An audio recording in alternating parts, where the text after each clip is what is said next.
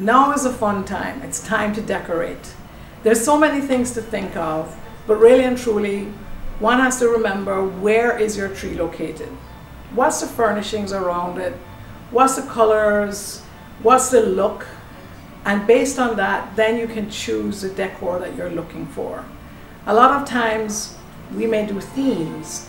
We can do the nautical theme. We can do a specific theme for that year. There are so many themes that you can have on your tree. What I do think is a great way to minimize and think about what you really want to use on your tree. You look at the colors that are where the tree is going to be. Do you want to do a combination of those colors or would you like to choose maybe one or two colors?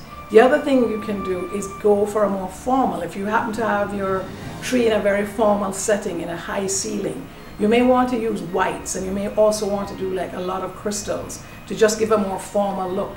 If you're using a snow tree, whites and crystals look great on a tree, but you can also accent it, for example, with soft blues or do trends.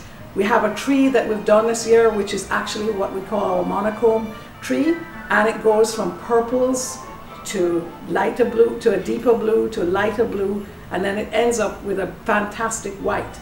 That is what we call a monochromatic tree.